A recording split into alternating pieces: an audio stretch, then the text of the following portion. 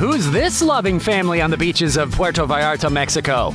Our photographers spot Kim Kardashian, hubby Kanye West, and their daughter North playing in the south of the border sands.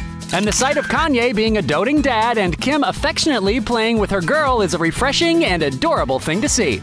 The happy couple take turns toting around their baby daughter and juggling beach toys. Yes, this is reality TV's queen and perhaps rap's biggest ego, but are they showing a semblance of normalcy here?